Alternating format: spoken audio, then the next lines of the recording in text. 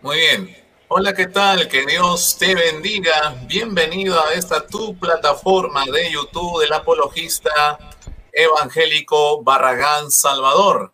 Estamos nuevamente en una transmisión para poder presenciar un debate muy interesante, un debate que va a generar, creo yo, muchas controversias, pero va a ser un debate muy bueno donde ambos expositores van a presentar muy buenos argumentos y el tema de hoy va a ser acerca de la sucesión apostólica. Así es, se va a estar debatiendo este tema muy interesante y bueno, para ello tenemos a dos exponentes, uno del lado católico, uno del lado evangélico, que van a estar dialogando, compartiendo, debatiendo acerca de este tema muy interesante y van a estar exponiendo argumentos que estoy seguro que serán de muy buena calidad por parte de ambos exponentes.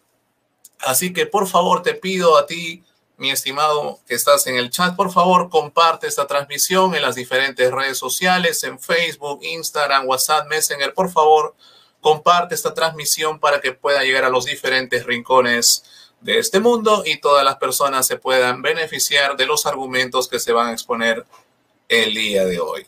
Así que bueno, sin más preámbulos, voy a darle la bienvenida al exponente católico que tenemos el día de hoy y es un lujo, la verdad, tener a, al exponente católico que nos está acompañando en la plataforma. Así que le voy a ceder la palabra para que se pueda presentar en un minuto. Adelante, Guido, por favor.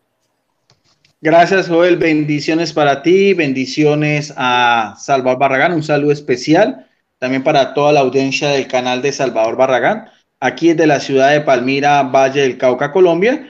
Eh, agradeciéndole a Salvador de pronto por la invitación que le hice, hace rato no debatido, me parece interesante este tema, lo habíamos hecho anteriormente, creo que podíamos volverlo a hacer porque el tema es muy interesante, es la sucesión apostólica, y vamos a ver, ojalá que sea del agrado de todos, eh, siempre con la misma cultura y educación con que se deben hacer estos compartir entre hermanos cristianos y lo más importante, pidiendo la iluminación del Espíritu Santo. Gracias, Joel. Adelante. Bendiciones.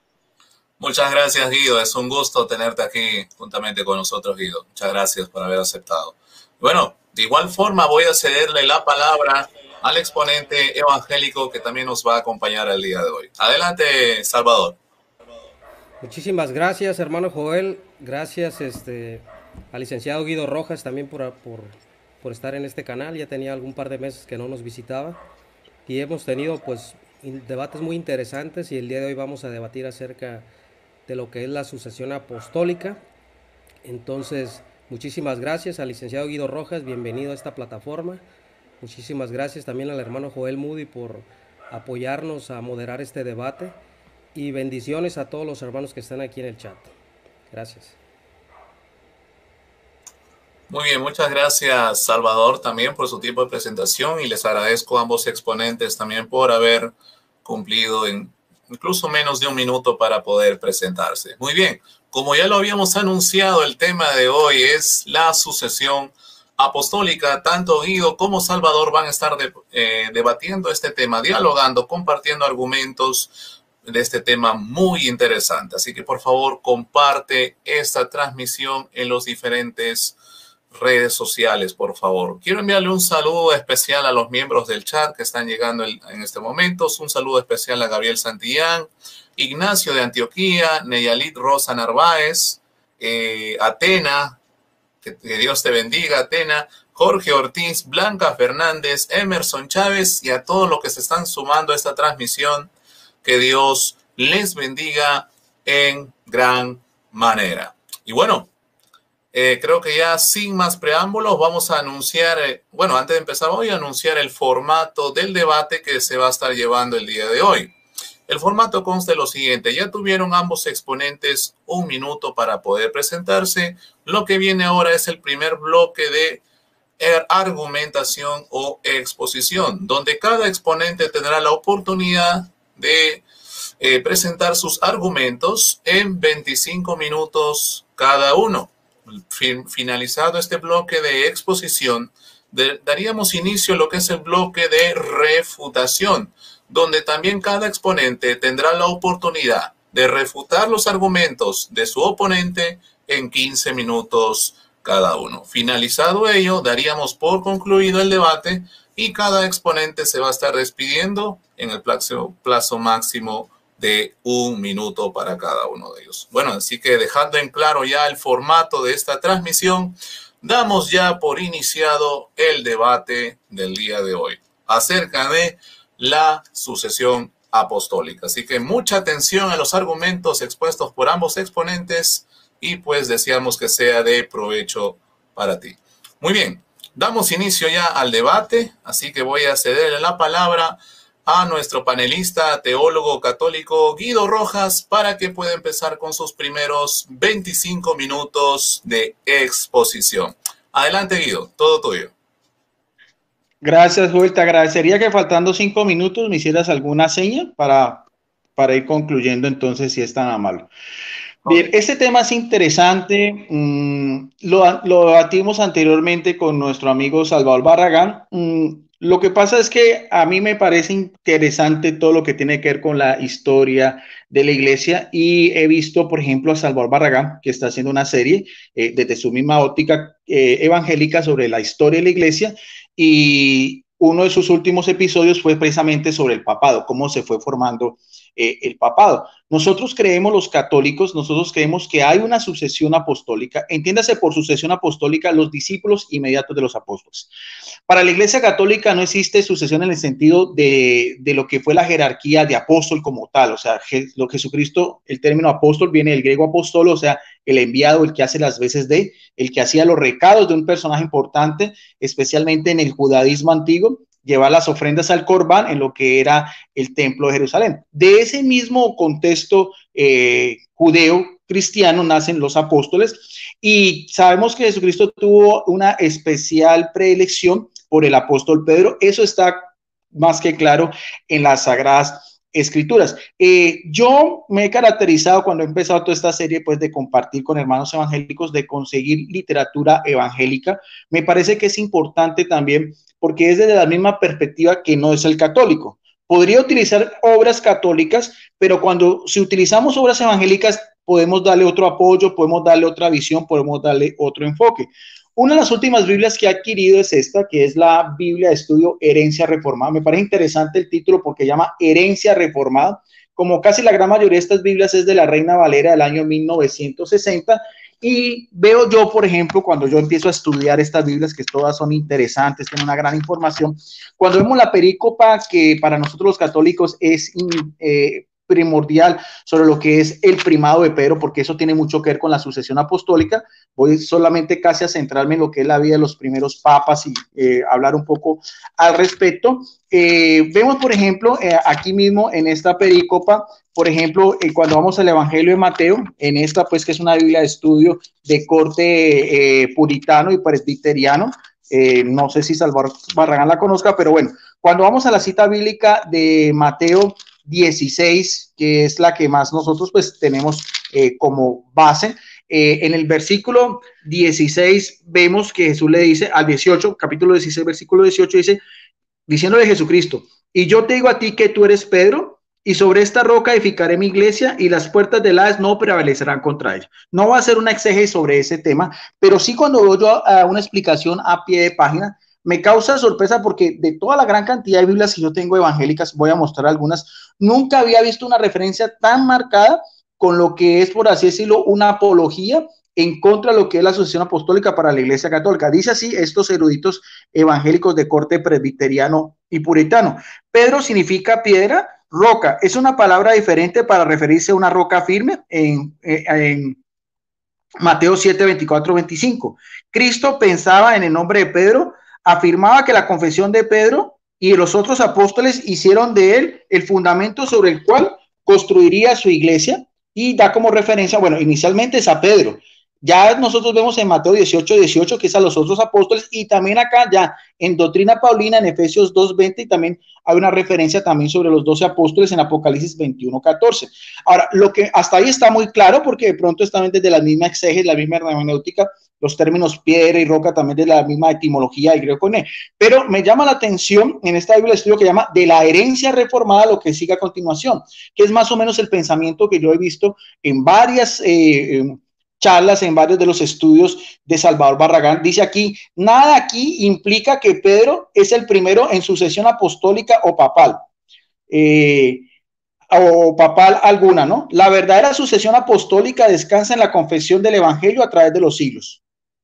Entonces, digo, a mí me, suena esto importante porque se eh, enfatizan de que para ellos, bueno, explicaciones a pie de página son solamente, como dice el caso, a comentarios de biblistas, pero resaltan mucho que para ellos esta pericopa no implica para nada una sucesión apostólica, sino más bien que en esa misma iglesia era, la, era el transmitir el evangelio. Ahora, la pregunta es, ¿cómo se transmitió ese evangelio? ¿Qué pasa después de la muerte de los apóstoles? No podemos nosotros hacer el salto mortal, como he dicho yo siempre, hasta la reforma protestante, porque entonces, ¿qué pasa en los siglos anteriores? ¿Y qué pasa con la iluminación del Espíritu Santo que Jesucristo también promete? Eh, eh, cuando nosotros también vemos en esta propia Biblia de estudio, porque esto también tiene una referencia muy importante con Pedro, sobre el primado y también sobre la sucesión apostólica. Voy a hacer más que todo énfasis en los, en los apóstoles. Eh, nos dice también, cuando vemos en, la, en esta misma Biblia estudio de la herencia reformada, en lo que es la, la, introducción que hacen ellos, estos biblistas, a lo que es la primera carta de Pedro, dan, dan algunas referencias ya de orden también eh, la composición de la carta, su autor, dice, por ejemplo, acá eh, dice primera introducción a la epístola de Pedro, aquí está, siempre trato de mostrar eh, lo que dice. Dice, por ejemplo, eh, autor, fecha, tema, propósito, pero da también en fecha, dice, esto ya es histórico, dice, se cree, esto sí es parte de la tradición, ¿no? Para la Iglesia Católica hay dos baluartes importantes. Nosotros creemos que la Biblia, la primera fuente de revelación divina, pero que nosotros creemos también que la tradición cristiana, o sea, el acontecimiento en sí de la Iglesia Católica en el transcurrir de los siglos hasta nuestros días, bajo la asistencia del Espíritu Santo, y lo mismo que Jesucristo prometió, que las puertas del Hades no podrán vencer a su iglesia. Y también lo que dice al final del Evangelio de Mateo 28, donde dice, yo estaré con ustedes todos los días hasta el fin del mundo. Es importante también, en referencia a Pedro, dice, se cree que Pedro murió en el año 67 después de Cristo. ¿En qué? En las persecuciones de Nerón, siendo colgado al revés sobre una cruz, eso es histórico. Eh, y aquí no lo dice, pero la historia sabe que eso fue eh, colgado en la colina Vaticana, muy cerca del Coliseo Romano, donde está el obelisco de Calígula, donde actualmente se encuentra la Basílica de San Pedro el Vaticano, sede central de la Iglesia Católica, y donde hay referencias arqueológicas al respecto.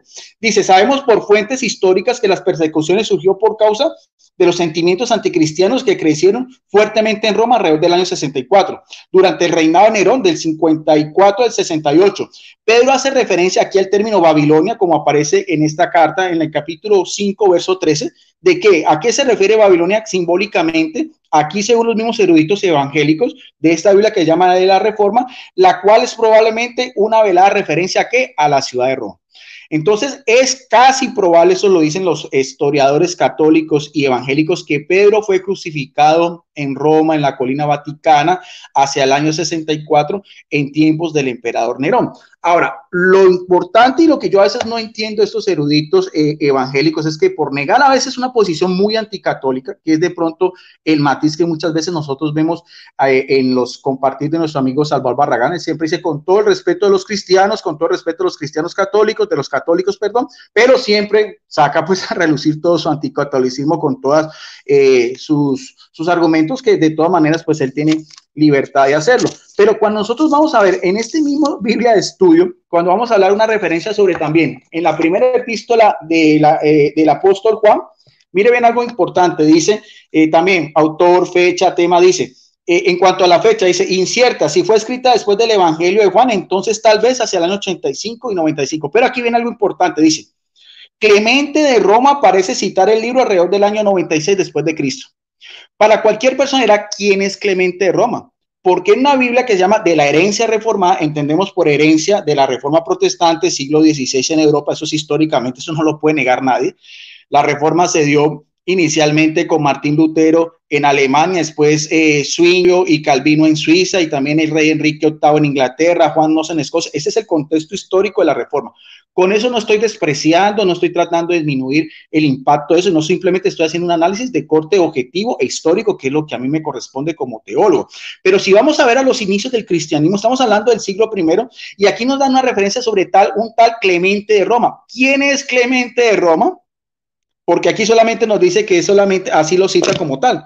Entonces, eh, y curiosamente después, cuando en esta misma Biblia estudio también de la herencia reformada, que yo estoy haciendo también una serie, porque aparece también lo que es la vida de la iglesia siglo por siglo.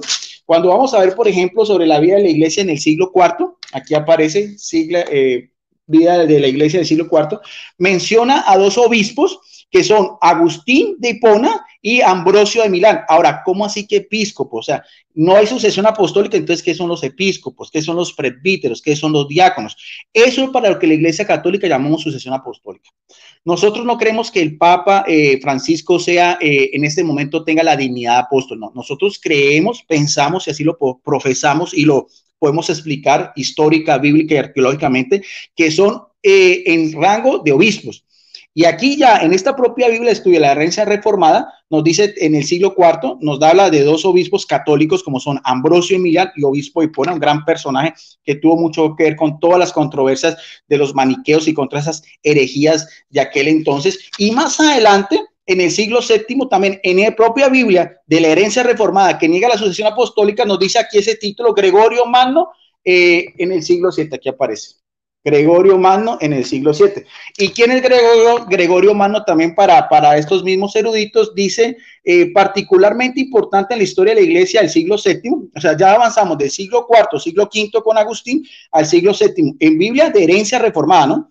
Dice, la primera figura es Gregorio Magno, hijo de una familia italiana rica e influyente. Gregorio decidió seguir un camino monástico en lugar de la tradicional familia de servicio público. Finalmente se convirtió en qué? En obispo de Roma.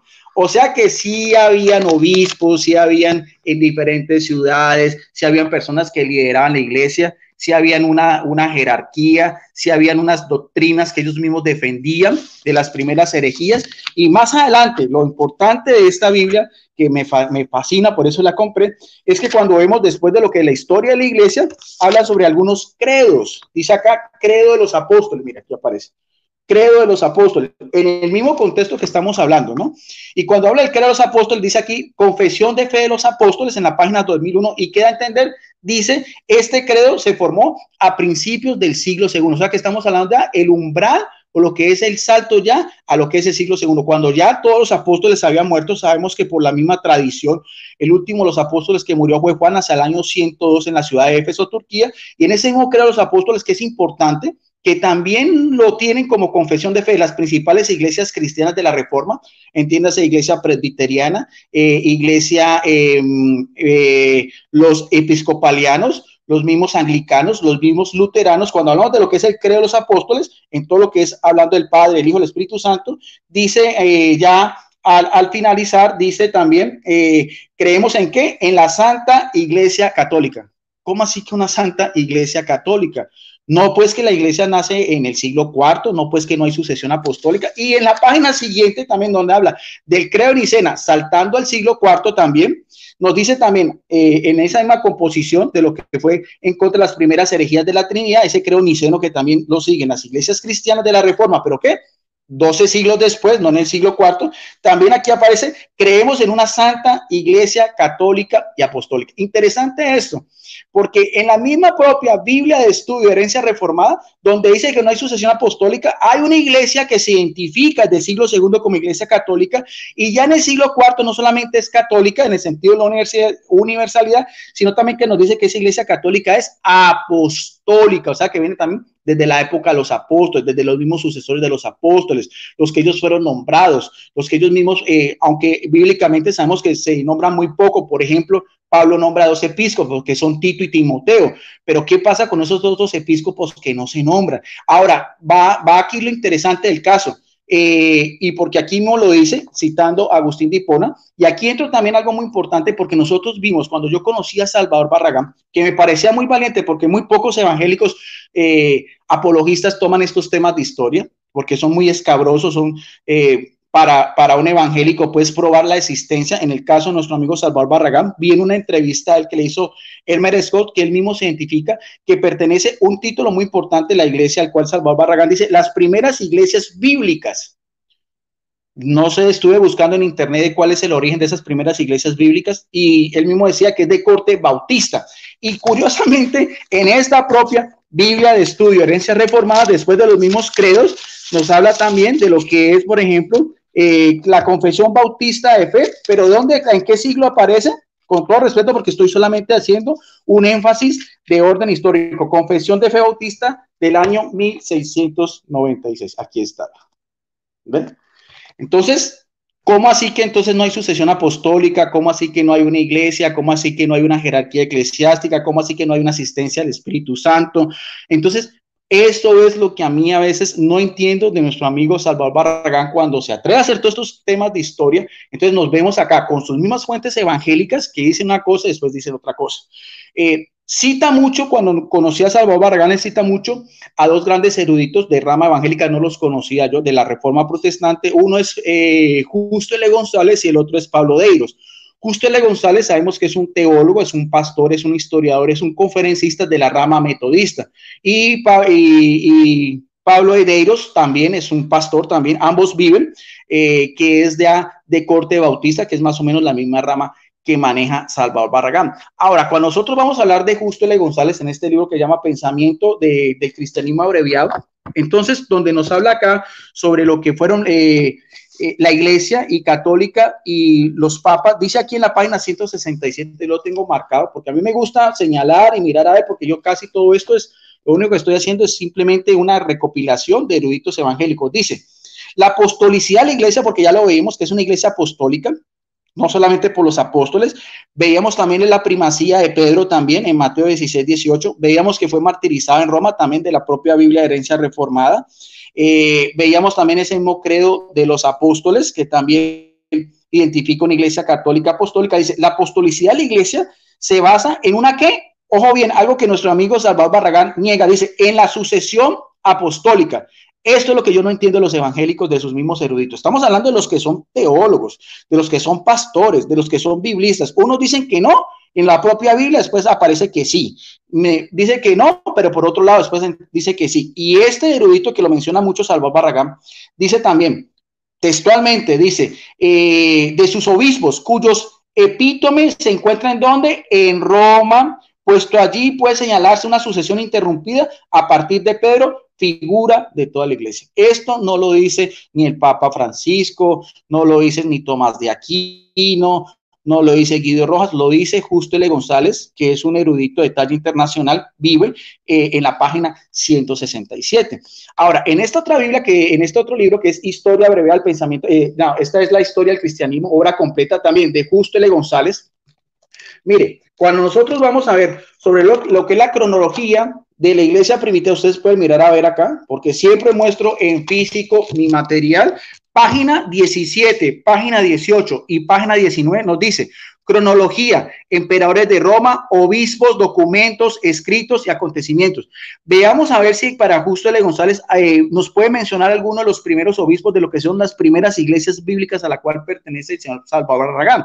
Lastimosamente no, sino que aparecen los obispos que son parte de la Iglesia Católica. Empieza Lino, Anacleto, Clemente, Evaristo, Alejandro, Sisto, Telésforo, Egidio, Sidio, eh, Pío, eh, Aniceto, eh, Sótero, Elutorio, Vito, Seferino, Calisto, Urbano, Ponciano, Antero, Fabián, Cornelio, Lucio, Esteban, Sisto II, Dionisio, Félix, Eutiquiano, Cayo, Marcelino, Marcelo, Eusebio, Milciades y Silvestre. Entonces, esto es también, miren, propia eruditos de la rama evangélica hablando de los primeros obispos de Roma. Yo quisiera, esta es la oportunidad de nuestro amigo Salvador Barragán que nos muestre también las listas de los pastores, de los líderes de su iglesia, que tiene un nombre muy interesante, de las primeras eh, iglesias cristianas también, que tienen que ver también desde el propio inicio de los, de los apóstoles. En este libro que se llama, eh, este ya es un diccionario bíblico también, evangélico del editorial CLIE, este también es de otro erudito que me parece interesantísimo, Alfonso Ropero. Este ya es de corte evangélico, eh, vive en España también. Eh, vive. De hecho, Alfonso Ropero y Justo L. González hicieron una Biblia que llama la Biblia, eh, una Biblia comentada de los padres de la iglesia. Lastimosamente todavía no se consigue, pero eso va a ser una gran joya porque son comentarios de los propios padres de la iglesia también. Ahora, aquí también habla, veíamos que en la historia del cristianismo de Justo L. González hablaba de un primer personaje que se llama Lino. Y resulta también, por eso le digo, nuestro amigo Salvador Barragán, a mí no me va a tener que contradecir, a mí me va a tener que contradecir a Justo L. González, a la propia Biblia de Herencia Reformada, y en este otro caso también a lo que es eh, este también erudito de talla internacional, Alfonso Rofero. Aquí nos habla de un tal Lino, Dice también Lino, nombre propio, dice, es eh, cristiano de Roma, saludado por apóstol Pablo en su carta a Timoteo, según de Timoteo 4:21. Nada más sabemos de él por el, Nuevo Testamento. La tradición, que es importante para la Iglesia Católica, no lo descarta, este erudito evangélico que no es católico dice, asegura que fue que el primer obispo de Roma, después de quién? Después del martirio de Pedro y Pablo, que lo menciona quién? Un gran hombre, un gran padre de la iglesia como fue Irineo de León. Esto está en este diccionario. Pero alguien dirá, no, de pronto este diccionario lo compró la Iglesia Católica, de pronto este, este, este Justo L. González se volvió católico o algo así. Quédame decirle que todo esto es literatura evangélica, esto no es literatura eh, católica.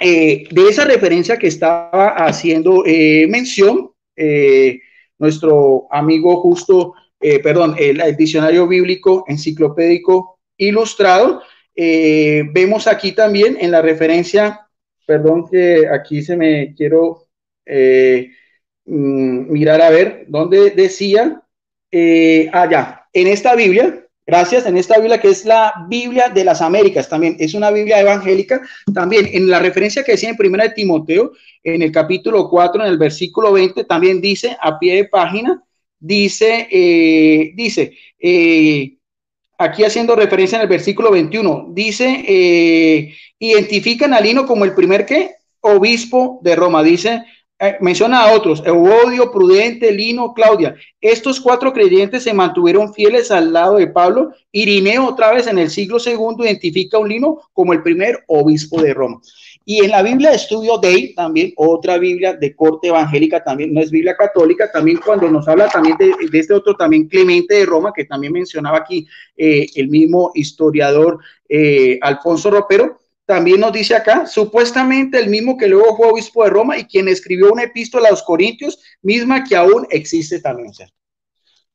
Entonces, ¿qué es lo que doy dando a entender yo? De que sí hay sucesión apostólica, sí podemos tener constancia de Lino, de, de, Clemente Romano, no solamente de, eruditos de talla internacional como es eh, Alfonso Ropero, eh, Justo L. González, Biblia de Estudio Day y Biblia de Estudio eh, de las Américas. En mi segunda intervención voy a hacer algunas referencias porque nuestro amigo Salvador Barragán en su último episodio que tiene sobre la historia de los papas hizo mención a algunos nombres especiales de estos obispos de Roma.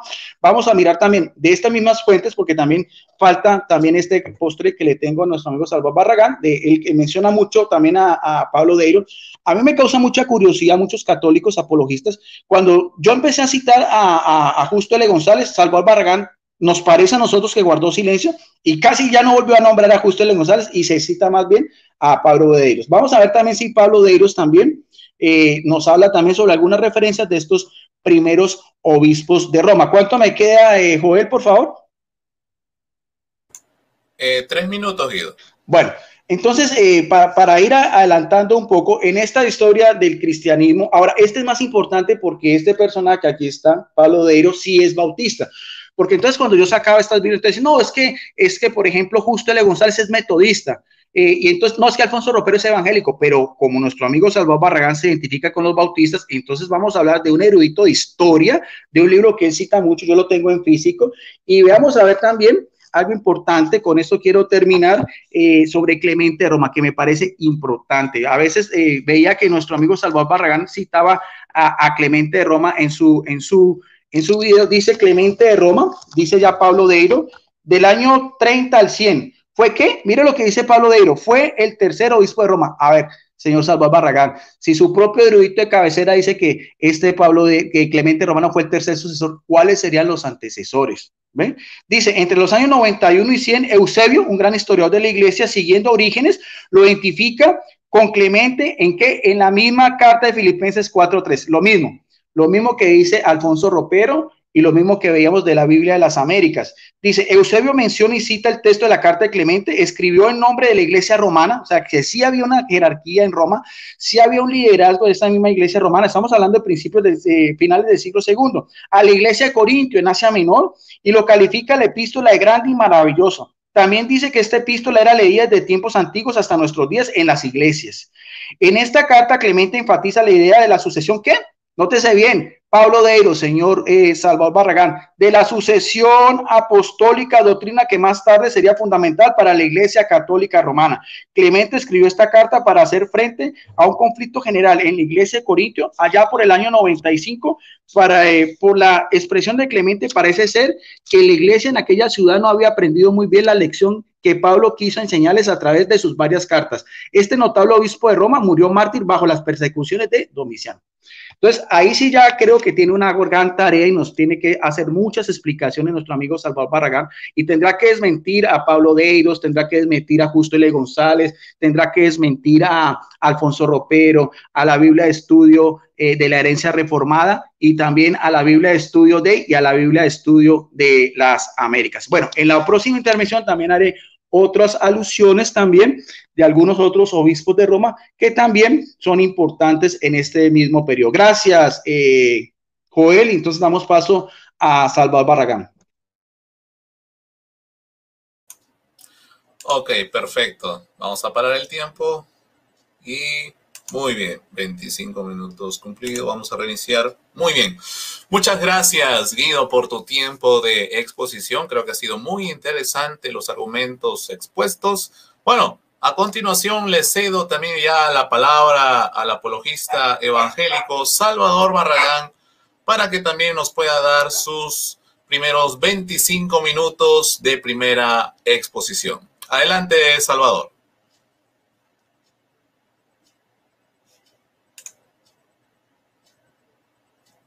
¿Tu micrófono está apagado, Salvador? ¿Cómo me escucho ahí, Joel? Escucho. Ahí yo te escucho. Guido, ¿lo escuchas a Salvador? Sí, sí, sí te escucha. Ok. Bueno, adelante hermano, tómeme el tiempo. Bueno, el día de hoy vamos a demostrar que verdaderamente la sucesión apostólica es una tradición, pero es una tradición que nada más acepta la Iglesia Católica Romana. La tradición de la sucesión apostólica vamos a demostrar con fuentes históricas, con fuentes católicas, que el gran reto en esta tarde no la tengo yo, porque yo no creo en una sucesión apostólica. El gran reto lo tiene el licenciado Guido Rojas. Primeramente, el licenciado Guido Rojas tiene que refutar el apóstol Juan, según la tradición, muere en el año 100 después de Cristo. En el año 100 después de Cristo, para el tiempo que muere el apóstol Juan, ya tenía que haber cuatro papas Guido Rojas, cuatro obispos en Roma. Entonces usted me tiene que demostrar por medio de la Biblia que esos cuatro obispos, el apóstol Juan estaba subordinado a lo que era Lino, a lo que era Clemente, a lo que era Cleto, a lo que era Anaclete o a lo que era Egésipos. Entonces, esos cuatro papas tenían una autoridad sobre el apóstol Juan. Usted tiene que demostrarlo por el libro de los Hechos. El libro de los Hechos, según algunas fuentes de eruditos biblistas, dicen que fue escrito probablemente del año 75 al año 85 después de Cristo. Para este tiempo, ¿ya cuántos papas tuvo que haber en Roma? Tres papas por lo cuanto Lucas, el historiador del libro de los Hechos, omite totalmente un silencio en, a favor de la sucesión apostólica o de mensar o de, de enseñar a algún obispo que haya sucedido en poder eclesiástico en cuanto a las llaves a Pedro. Por lo tanto, esa es una mentira que nuestro amigo Guido Rojas no podrá demostrar. Ahora yo sí le voy a demostrar a Guido Rojas que verdaderamente la tradición de la sucesión apostólica es verdaderamente una tradición maleable y es una tradición que está totalmente incongruente. ¿Cuál es la fuente histórica que tiene la Iglesia Católica Romana? Ellos citan a lo que es Irineo de León. ¿Qué es lo que escribe Irineo de León? Dice, nosotros hacemos esto y digo yo. Indicamos que esa tradición derivó de los apóstoles de la muy grande, muy antigua, universalmente conocida iglesia fundada y organizada en Roma. Los benditos apóstoles, entonces habiendo fundado y constituido la iglesia, pusieron en las manos de Lino el oficio de episcopado. Dice Irineo de León que fue Pablo y que fue Pedro los que eh, fundaron la iglesia de Roma y ellos le pusieron las, las manos a, Lino. Entonces vamos a ver cómo el apóstol Pablo refuta la tradición que, nuestro amigo Guido Rojas nos está tratando aquí de, engañar a todos los que estamos aquí. Y el mismo apóstol Pablo con la misma palabra de Dios refuta la tradición de la Iglesia Católica Apostólica Romana. Entonces, según la tradición de la Iglesia Católica y según Irineo, porque es la fuente histórica que tiene la Iglesia Católica, la Iglesia Católica en, Roma fue fundada sobre el año 42 después de Cristo. ¿Quién fundó la iglesia? Literalmente se desconoce quiénes fueron los fundadores de la iglesia en la ciudad. Se puede afirmar que la iglesia estaba constituida desde mucho tiempo antes de la visita de Pablo. Según la tradición se fundó en el año 42. Entonces se aprecia, se aprecia que la epístola que Pablo, que Pablo no había estado en la ciudad de Roma cuando ya la iglesia estaba constituida. Dice Romanos 1.13, ¿para qué tiempo se escribe la carta a los romanos? Para el año 53 después de Cristo. Para este tiempo, según ya la tradición, Roma ya tuviera que haber tenido 10, 9 años que se había sido fundada por Pablo y Pedro. Pero vean lo que dice Pedro cuando escribe a los romanos. Romanos 1.13 dice, pero no quiero hermanos que ignoréis que muchas veces me he propuesto ir a vosotros, pero he sido estorbado para tener también entre vosotros algún fruto como entre los demás gentiles. Dice, dice Romanos 15, 23, por esta causa me he visto impedido muchas veces de ir a vosotros, pero ahora no entiendo, no teniendo más campo en estas regiones y deseando desde hace mucho tiempo ir a vosotros. Entonces, ¿qué es lo que está pasando aquí, mi licenciado Guido Rojas? Que Pablo no conocía a los hermanos de Roma, ¿qué cree?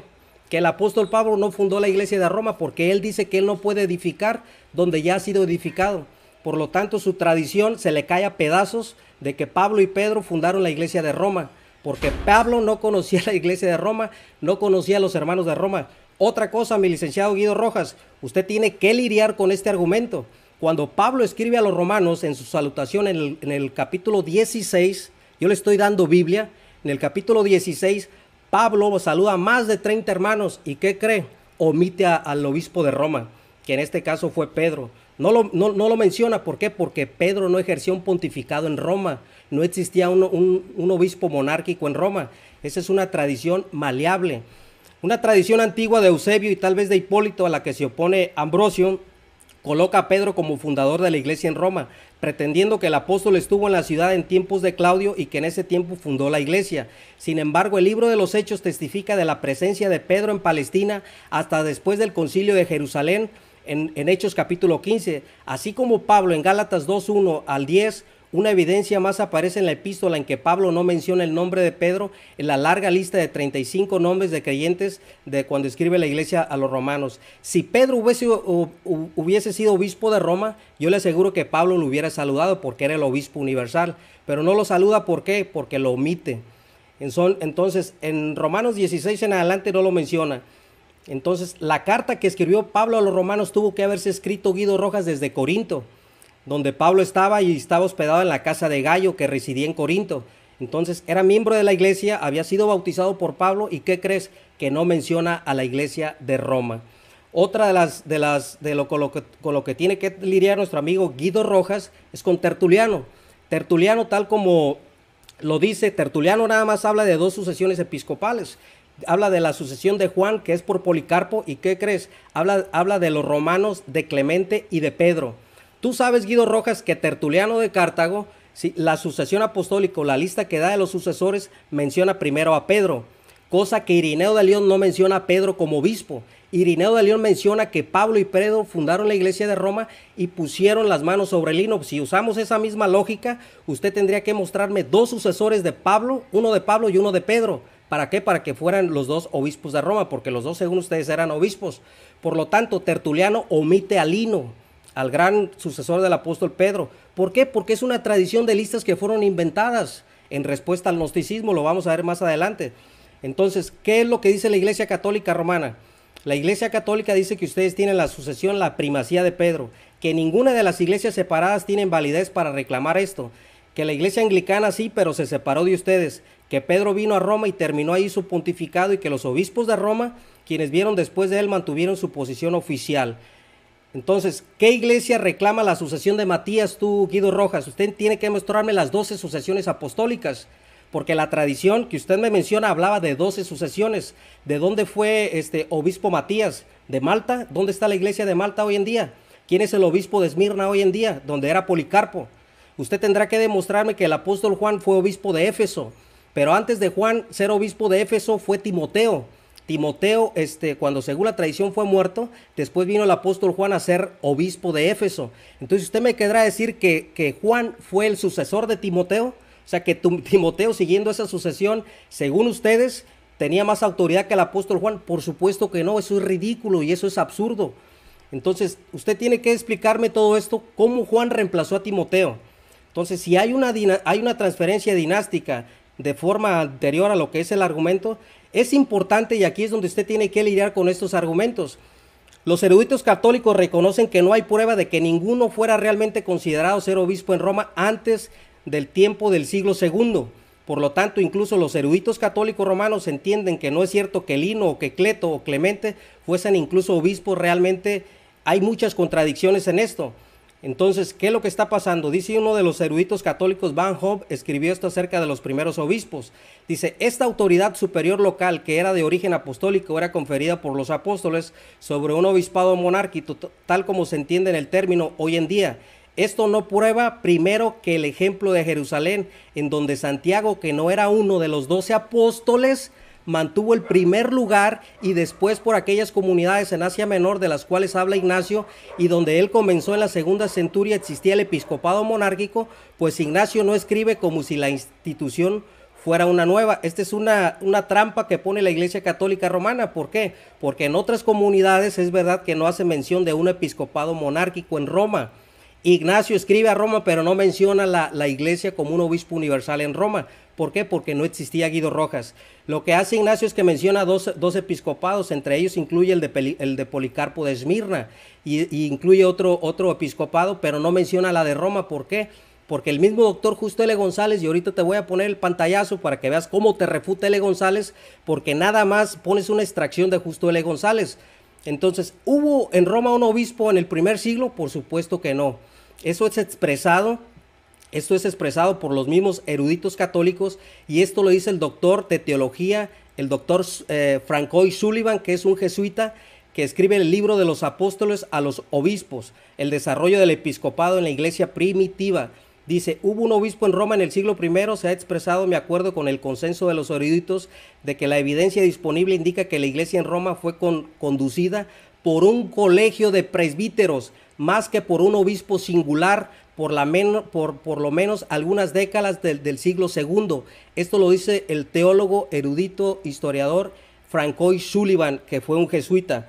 Dice, no fue hasta el pontificado de San Pío I en, en la mitad del siglo II, en el año 142-155, que la iglesia romana tuvo una estructura de gobierno monoepiscopal. Esto lo dice McBrien, Richard McBrien, que también es un erudito y es una eminencia en historia por parte del catolicismo romanos.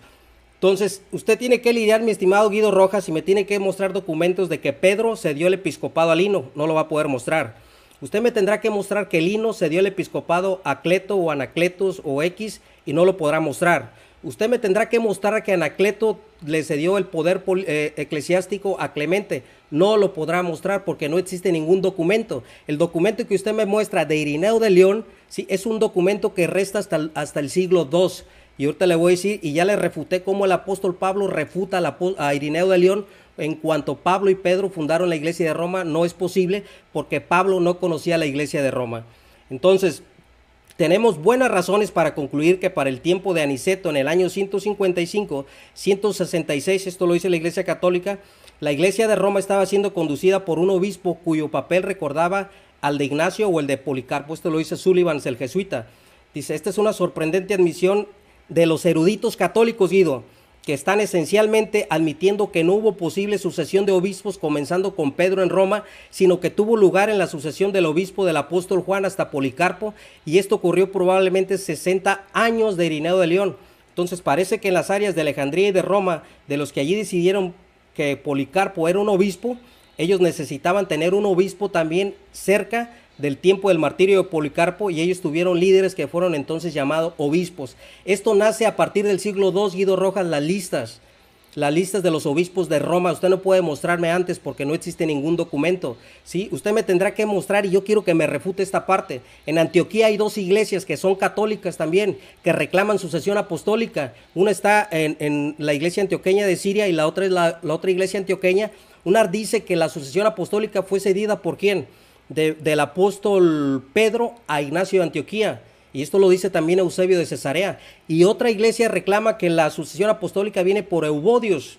Entonces, las dos iglesias católicas reclaman para sí la primacía de Pedro en cuanto a la sucesión apostólica. Las, las, dos, tienen las, las dos tienen historia. Y usted como católico romano también reclama una primacía de Pedro. Hay tres sedes católicas que reclaman la primacía de Pedro. ¿Sabe por qué? Porque muchos empezaron a inventar listas. La Iglesia Católica Romana reconoce que Pedro primero fue obispo en Antioquía antes de que Roma. Y eso lo tienen que reconocer porque no hay evidencia histórica que Pedro haya ejercido un pontificado en Roma. No estoy hablando de su martirio ni sus huesos, pontificado. Entonces hay muchas diferencias, estimado Guido Rojas. Dice, dice lo que es el jesuita Sullivan, dice los obispos, el desarrollo del episcopado en la iglesia primitiva. Lo dice en la página 13, 14 y 15, dice. Dice, no fue sino hasta mediados del siglo III que especial importancia comenzó a ser acordada de la fe de la iglesia de Roma. Esto lo dice McBrien, Richard McBrien, en la vida de los papas. Dice, antes del comienzo del segundo milenio y el pontificado de Gregorio XII en particular, en el año 1073 al año 1085, los papas funcionaban ampliamente en el papel de mediadores ellos no reclamaban para sí mismos el título de vicario de Cristo, ellos no nombraban obispos, ellos no gobernaban la Iglesia Universal a través de la curia romana, ellos no imponían el celibato clerical, ellos no escribían encíclicas, o autorizaban catecismos para toda la iglesia, ellos no retenían para sí mismos únicamente el poder de canonización, ellos no convocaban tampoco a concilios ecuménicos como una regla y ciertamente a los principales concilios doctrinales de Nicea, Constantinopla, Éfeso y Calcedonia. Guido Rojas, usted me dice que, que, que hablar de obispos es hablar de obispos universales o hablar del obispo de Roma. A mí se me hace raro, se me hace extraño, se me hace absurdo y se lo digo con todo respeto que usted piense que yo voy a negar los obispos de la iglesia primitiva. No, el concilio de Trento dijo que Pedro era el príncipe de los pastores. El concilio de Trento dijo que Pedro era el obispo universal. El, concilio de Trento dijo que Pedro era el vicario de Cristo. El concilio de Trento dijo que toda la autoridad eclesiástica descansaba sobre el obispo de Roma. Usted, Guido Rojas, me tiene que demostrar ¿sí? que antes de los primeros dos siglos, todos estos títulos que se le dan al obispo de Roma, se lo dieron a Lino, se lo dieron a Anacleto, se lo dieron a Clemente y se lo dieron a Pedro. No lo va a poder demostrar Guido Rojas. ¿Por qué? Porque esta fue una herejía y es una herejía el papado, es una herejía la sucesión apostólica que usted tiene que lidiar y usted tiene que refutarme. Tengo los documentos del concilio de Trento también si usted quiere. Entonces, ¿qué pasa con la iglesia de Éfeso? La iglesia de Éfeso y los católicos romanos y la enciclopedia católica eh, acepta que Éfeso, el apóstol Juan, fue el, obispo de ese lugar. ¿Qué es lo que pasó cuando la iglesia se ordena por jurisdicciones? Constantinopla, que no tenía un sucesor, y ahorita le voy a dar la fuente de Justo L. González, le voy a poner el pantallazo en la refutación para que se prepare. Esa jurisdicción de Constantinopla absorbió a Éfeso. ¿Sí? como si Andrés tuviera autoridad sobre el apóstol Juan. La iglesia de Éfeso, con muchos problemas y muchas guerras, fue absorbida por la de Constantinopla y desapareció como un patriarcado, como, por las cinco jurisdicciones que fue Jerusalén, Alejandría, Roma, Constantinopla y Antioquía. Entonces usted me tiene que demostrar quién es el sucesor de Juan en Éfeso. Me tiene que demostrar que Juan, eh, que Timoteo dejó a Juan de sucesor, porque primero fue el apóstol eh, primero fue Timoteo, eh, obispo de, Éfeso, y después vino el apóstol Juan. Ignacio de Antioquía, Guido Rojas, yo quiero que usted me muestre el documento histórico donde Ignacio de Antioquía menciona un solo sucesor, un solo sucesor como obispo en Roma. No lo va a poder demostrar porque específicamente menciona a Onésimo como obispo de Éfeso y a Policarpo como obispo de Esmirna. Entonces, usted tiene un gran paquete, estimado Guido Rojas, lidiar con todas las fuentes que le estoy dando y con todos los argumentos que yo le estoy dando.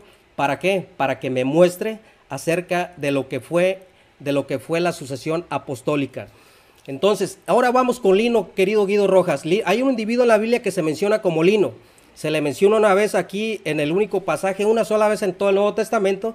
Dice Pablo en 2 Timoteo 4, 19, 22. Saludad a Priscila y Aquila y a la familia de Onésfiro, a Erasto que quedó en Corinto, pero a Trófino lo, dejé enfermo en Mileto. Haz todo lo posible por venir antes del invierno. A Ebulus te saluda, así como a Pudens, a Linos. Aquí está Linos. Eh, Guido Rojas, lo que ustedes toman, fíjate bien, y quiero que todo el público ponga atención. Lo que ustedes dicen que siempre en la Biblia se menciona a Pedro, porque Pedro fue el primero de todos los apóstoles. Yo le pregunto, si esa era una tradición judía o una tradición de los apóstoles, ¿por qué Pablo no menciona a Lino como primero? Pablo lo menciona como cualquier otra persona. Menciona a Claudia, menciona a Pudelos, menciona a Obolus, a Trófino, a Mileto y a Linus lo deja hasta el último. Si Linus hubiera tenido un pontificado ya para, este, para, para estos tiempos, entonces lo que tendría que hacer, el, eh, eh, y cuando Pablo escribe a Timoteo, créame que eh, fue la última carta y según la tradición, Pedro ya había muerto y, y, Lino ya era obispo en, en Roma para este tiempo, la segunda carta a Timoteo. Entonces usted tiene que lidiar con este argumento y me tiene que decir por qué Linos no es mencionado como obispo, no es mencionado como papa, no es mencionado como la cabeza eh, eh, universal de la iglesia de Roma común y no lo menciona en primera fila. Entonces, fue escrito aproximadamente en el año 67 después de Cristo la carta a Timoteo. Pero el apóstol Pablo, mientras que estaba en prisión en Roma, para el evangelista Timoteo, que estaba en Éfeso, es cuando escribe. Dice que Pablo conocía a alguien llamado Linos, por tanto conocía a Pablo y estaba en Roma cuando Pablo escribió esa carta. Probablemente se puede implicar razonablemente de que Linus probablemente conocía a Timoteo y quizá otros en Éfeso. Lo que no muestra es que Linus sería el líder de Roma o que fue ordenado por Pedro. Otros enumeran antes que él, por lo tanto, al menos en el momento de que Pablo escribió esta carta, no hay preeminencia para Linus en Roma y debe notar seguido Rojas que una de las pruebas que Roma cita a menudo para probar que Pedro tenía una preeminencia y que Pedro a menudo aparece en primer lugar en varios pasajes en el Nuevo Testamento que involucran a varias personas. Linus simplemente fue uno de los muchos que conocieron y probablemente ayudaron al apóstol Pablo, eso no lo sabemos, pero la falta de énfasis, de preeminencia, de que no lo mencione en primer lugar. Entonces, mi estimado Guido Roja, la tradición católica romana, fíjese bien, y usted tiene que lidiar con estos argumentos, dice que Linus ejerció un pontificado del año 67 al año 76 después de Cristo. Fue el primero en tomar la herencia de San Pedro, dice la Iglesia Católica Romana. Se dispuso a que las mujeres fueran admitidas en los lugares santos y asistieran a las funciones con la cabeza cubierta. Fue enterrado junto a San Pedro en el cementerio del Vaticano. Es cierto que existió mientras que algunos han puesto su duda elección. Entonces, no hay registro de que Lino haciendo a, ninguna disposición de nada. Esto es algo de lo que el erudito católico Krish escribió en la Enciclopedia Católica sobre Linos. Dice, Lino fue elegido para ser jefe de la comunidad de cristianos en Roma después de la muerte del apóstol. Por esta razón, su pontificado data del año de la muerte de los apóstoles de Pablo y Pedro, que sin embargo no se conoce con certeza. No se conoce con certeza. En otras palabras, los eruditos católicos romanos admiten que Linus no hizo lo que el libro del Vaticano dice. Entonces, el libro del Vaticano dice y le atribuyen de las cabezas y todo lo que hizo este eh, Lino, según ustedes, esto es algo que arbitrariamente la Iglesia Católica Romana se lo atribuye a Lino. ¿Qué es lo que dice este erudito católico? Afirma que la evidencia de que Linus no fue martirizado y que Linus probablemente no fue enterrado junto a Pedro, otros eruditos católicos llegan a las conclusiones similares y uno de ellos fue Roderick Van Gen dice es el director ejecutivo de un grupo de medios procatólicos llamado SQPN que enseña correctamente. El Papa Salinos en los documentos antiguos sobre su papado han demostrado ser inexactos, apócrifos, para lo de Salino, o sea que lo que ustedes han tomado para decir que el le atribuyen arbitrariamente sobre el, taparse la cabeza de las mujeres es un, es un documento espurio y es un documento apócrifo que ustedes arbitrariamente y maquiavélicamente se lo han atribuido al, sucesor de Pedro, pero, se han valido de libros apócrifos, se han valido de documentos espurios. Entonces, según ustedes, la Iglesia Católica Romana, y esto es algo que usted tiene que lidiar también, Guido Rojas, porque usted tiene el reto, usted me retó y usted tiene que demostrarlo, que Lino fue eh, obispo del año 66 al 76, según después de Cristo, según la tradición católica. Eusebio reclama, que ustedes citan a Eusebio, reclama que el cargo de Lino duró durante 12 años, pero no tiene claro lo, lo que exactamente las fechas ni su función y su autoridad pastoral no es exacta. El catálogo de Liberia, Guido Rojas, que es la primera vez que hace un obispo de Roma a Pedro, ¿qué es lo que dice? Muestra que duró 12 años, 4 meses y 12 días lino de obispo en Roma. Las fechas indicadas en este catálogo, sí, catálogo dice que fue del año 56 hasta el año 67, Guido Rojas. Y este documento es reconocido por la Iglesia Católica Romana. Hay una diferencia de 10 años en la sucesión de Lino, sí, en Roma por lo que dice Eusebio de Cesarea, por lo que dice la exactitud, según tú, de la tradición católica romana y lo que dice el catálogo liberiano, ¿sí? que fue en los tiempos del Papa Damaso. Entonces, lo más interesante es que aunque la carta a menuda también, y vamos a hablar de otro punto que usted tiene que lidiar, Clemente. Clemente menciona a Apolo, menciona a Cefás, que es Pedro, en el capítulo 47, que solo dice que Pablo escribió sobre Cefás y Apolos. Pablo muchas veces y algunos mensajeros en el capítulo 65 nunca menciona a Lino, ni a Cleto, ni a Anaclete, ni a nadie que conociera como el obispo de Roma después de él. No lo menciona, ¿por qué? Porque no existía Guido Rojas, no existía. Usted tiene que refutarme estas partes. Policarpo de Esmirna, Policarpo tampoco menciona a Lino, ni menciona a Cleto, ni a nadie que se haya convertido en obispo en Roma en la carta titulada Martirio de Policarpo es básicamente todo acerca de Policarpo y también nunca menciona a Lino, ni a Cleto, ni a Calcuera que se haya convertido en un obispo de Roma. El libro de los pontífices enseña esto sobre Pedro y sobre sucesor espiritual. Consagró a, según dice la, lo que es la Iglesia Católica Romana, le voy a pedir a mi hermano Joel que me diga cuánto me queda de tiempo, por favor. Dos minutos. Dos minutos, ok. El libro de los pontífices dice que, que consagró a Clemente, a Clemente como obispo y le confió la cátedra y toda la gestión de la iglesia. Podemos ver, mi estimado Guido Rojas, que la, lo que es la sucesión apostólica, que la cátedra fue dada a Linus, dice Irineo de León, por lo tanto hay documentos del libro de los pontífices que fue dada a Clemente, ¿sí? Entonces, hay otro documento y la cátedra parece estar en un poema anónimo contra los marcionistas, escrito alrededor del año 267 después de Cristo, unos 200 años después de la muerte de Pedro, que se le atribuye arbitrariamente la cátedra al sucesor de Pedro en el año 267 después de Cristo Guido Rojas. Yo quiero que me muestre por Clemente y tiene ese reto por eh, San Ignacio de Antioquía, por Eusebio de Cesarea, por, por eh, eh, perdón, por Policarpo de Esmirna, por San Ignacio de Antioquía, el pastor de Hermas, Bernabé, Papías. Yo quiero que usted me, demuestre que esos siete documentos le atribuyen la cátedra de San Pedro a Lino, a Clemente, a Cleto o Anacleto o al nombre que ustedes se quieran inventar, fue hasta el año 267 después de Cristo, estimado Guido Rojas. Entonces, las llamadas constituciones apostólicas hace la siguiente afirmación, que de la iglesia de Roma, Lino, hijo de Claudio, fue el primero ordenado por Pablo, por Pablo, y Clemente, después de la muerte de Lino, el segundo ordenado por Pedro. ¿A quién le creemos, Guido? ¿Le creemos a Tertuliano? Le creemos a Irineo de León, le creemos a Pablo, le creemos a las constituciones apostólicas, que las constituciones apostólicas dicen que Pablo ordenó solamente a Lino y que Pedro ordenó a Clemente, o sea, por separado. Y ustedes no admiten estas partes, que también es parte de su tradición. Por eso nosotros decimos y les gritamos al mundo y les recalcamos en la cara que las tradiciones que ustedes son maquiavélicas, son antibíblicas, son blasfemas, son heréticas y no tiene forma de demostrar ni históricamente, mucho menos bíblicamente, que la sucesión apostólica tiene alguna validez.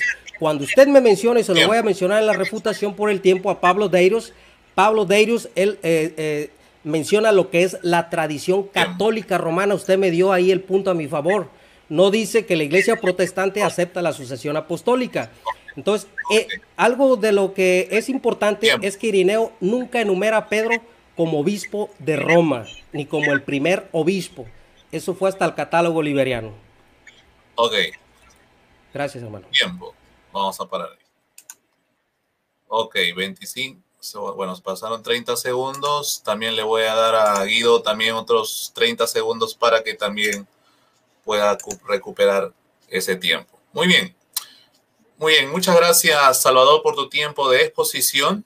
Y bueno, damos ya por finalizado este bloque de exposiciones. Ahora vamos a dar inicio al bloque de refutación, donde cada exponente va a tener la oportunidad de refutar los argumentos de su oponente en 15 minutos cada uno. Así que bueno, antes de comenzar, quiero enviarle un saludo especial también a los miembros del chat, a María, a Gloria Álamo, a Elías Maldonado, María Sonia Moreno, Julio César Holguín, Jorge Ortiz, Pablo Toledo, Ervin Barrios Pinto, Gabriel Santillán, Fran Ardón, Álvaro Hernández, Lorenzo Aranda, Lola Cortés, Blanca Fernández, David Carrizo, Xiomi Jomalón, eh, y León Rojo, Pepe Aguilar, Edgar Ruiz, José Esteves, Koala, eh, bueno, Rosa Araujo, Fidel Díaz, Filiberto González y a todos los hermanos que se están sumando, a, Alfredo Aguirre, eh, a Ada de la Garza, Dios les bendiga, Elmer Scott, bueno, todos los hermanos, que Dios me los bendiga en gran manera. Así que bueno, sin más preámbulos, damos ya inicio a este bloque de refutación bueno, Guido, tienes 15 minutos para refutar bueno, 15 minutos con 30 segundos para refutar a tu oponente. Adelante, Guido, todo tuyo. Bien, gracias. Bueno, escuchamos muy atentamente a nuestro amigo eh, Salvador Barragán. O sea, hay una gran diferencia entre la persona de Salvador Barragán y, y, lo mío cuando exponemos. Yo muestro pruebas en físico. Salvador Barragán solamente está leyendo un computador de algo que yo no puedo comprobar, no puedo corroborar la información que nos está diciendo sus eruditos y sus fuentes, porque no puede, no hay forma de que yo pueda decir en dónde lo dice o en qué página o en qué libro, en qué editorial. Simplemente nos basamos en la ética cristiana de Salvador Barragán para decir que lo que él está diciendo y los eruditos que él está afirmando están diciendo tal cual lo que él nos está dando a entender. Yo, por el contrario, muestro las pruebas en físico y muestro mi material en físico para que cualquier persona lo pueda constatar. Aquí nuestro amigo Salvador Barragán dijo algo muy importante, nos han engañado. A, los católicos no, al, al pueblo evangélico. ¿Y quiénes los han engañado? Los que yo cité. A ustedes, señores evangélicos, los han engañado los, los eruditos que cita Salvador Barragán. ¿Quién es? Alfonso Ropero es un mentiroso. ¿Quién es? Pablo Deiro es un mentiroso. ¿Quién es? Justo L. González es un mentiroso. Eh, nuestro amigo Salvador Barragán, porque yo sí mostré las pruebas en físico cuando ellos hablan de Lino, de Clemente, de la sucesión apostólica, ya los mostré. O sea, eh, quien nos está engañando son ellos, no a mí. Yo solamente me limito como un teólogo católico a mostrar las evidencias de los eruditos del mundo evangélico, porque como nuestro amigo Salvador Vargas dice que todos son hermanos, eh, los evangélicos, todos son hermanos, menos los católicos, entonces sus hermanos eruditos evangélicos son los que ustedes mismos los han engañado. Señor Salvador Barragán, por ética cristiana, usted no puede volver a mostrar ni a Justo L. González, ni puede mostrar a Alfonso Ropero, ni puede mostrar a Pablo Deiros como eruditos evangélicos, porque ellos mismos lo están desacreditando y están dando de la contraria a lo que yo mostré físicamente. Esta es la gran oportunidad de nuestro amigo Salvador Barragán, porque él dice, siempre pone en tela de juicio eh, la, lista de Irineo de León, la del catálogo bolivariano, la lista de Eusebio de Cesarea sobre los obispos de Roma. Que nos muestre entonces, esta es la gran oportunidad, señor Salvador Barragán, usted que niega que la Iglesia Católica es la Iglesia de Jesucristo, usted que muchas veces ha dicho en sus videos que la Iglesia Católica es Bayona la Grande, porque eso lo he escuchado yo, muéstrenos entonces, señor Salvador Barragán, la lista de sus obispos, que nos muestre por qué no lo hace.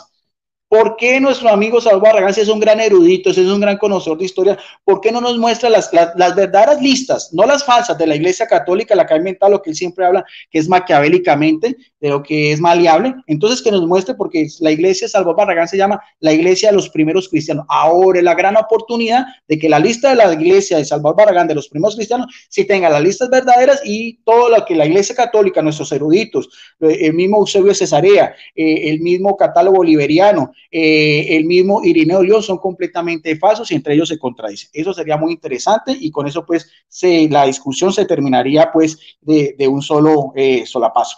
Ahora, dice algo importante Salvador Barragán, dice, eso es facilísimo, vea, eso es lo que dice Salvador Barragán, esto lo he escuchado muchas veces, eh, importante, dice, ¿por qué? En la carta a los romanos, el apóstol Pablo no menciona a, a Lino, ni a Cleto, ni a Clemente, y por qué no, y por qué no menciona a Pablo, y por qué no menciona a Pedro muy fácil. Se lo va a hacer de la propia Biblia de la herencia reformada. Interesante eso, ¿no? Porque esta Biblia dice de la herencia reformada, la herencia que viene después de 16 siglos, ¿no? La misma Biblia que cité, donde habla del, credo de los apóstoles, donde habla de la iglesia católica, la misma iglesia que cité, donde dice que la iglesia en el concilio de Nicea se llama iglesia católica apostólica porque vienen los apóstoles, la misma Biblia que cité que habla de Ignacio de, de Clemente Romano, y la misma Biblia que cité que habla de dos grandes obispos Ambrosio de Milán, Agustín de y también del Papa también en el siglo V, eh, Gregorio Mano. Dice acá, eso se lo va a contestar porque en la carta de, en la introducción de la, al final, perdón, en el, en epílogo de la carta de Clemente Roma, de Pablo no menciona ni a, ni a Pedro ni de esas cosas. Muy fácil.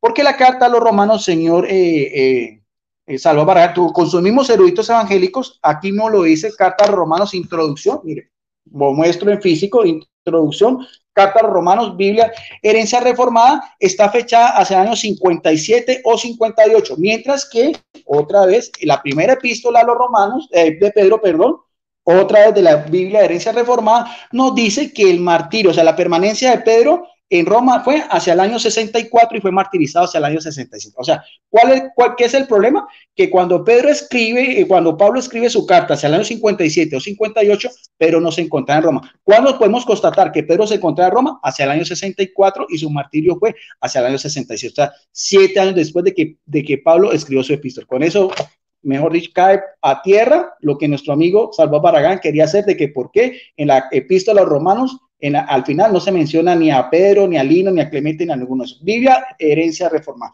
Ahora también, otro que también he escuchado, ¿por qué entonces eh, eh, eh, cuando aún vivían, por ejemplo, el apóstol Juan, porque sabemos que es el último de los apóstoles que muere también hacia el año más o menos 100, ¿por qué entonces la autoridad se tenía Clemente y no, y, no y no es Juan? Bueno, eso sí, resuélvalo usted, porque yo di, yo di una prueba evidente, es una prueba de la carta, que eso no es espurio, eso no hay forma que nuestro amigo Salvador Barragán nos pueda negar.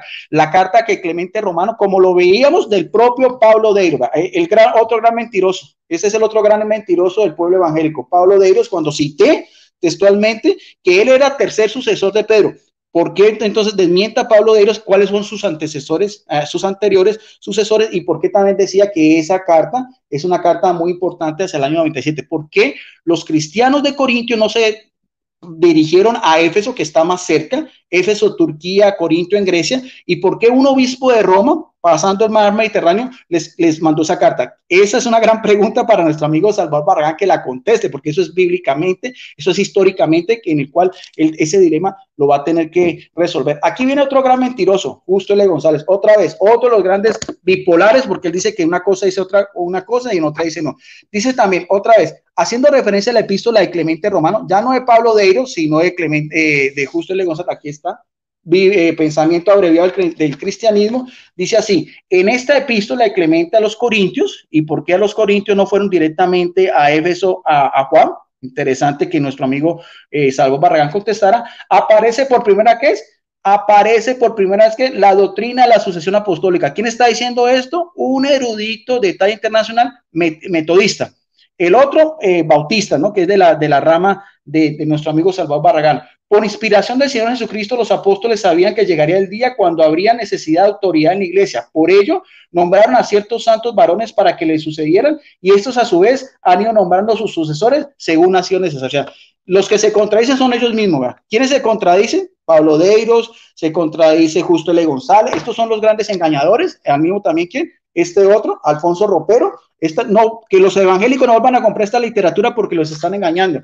Este mismo también, que vive todavía, Alfonso Ropero, es el que nos dice, no, yo lo dije, lo dice él. Dice que Lino, otra vez dice, Lino, según la tradición, fue el primer obispo de Roma después del martirio de Pedro y de Pablo. Eso lo dice aquí, está en la página 973, Alfonso Ropero, de este diccionario evangélico.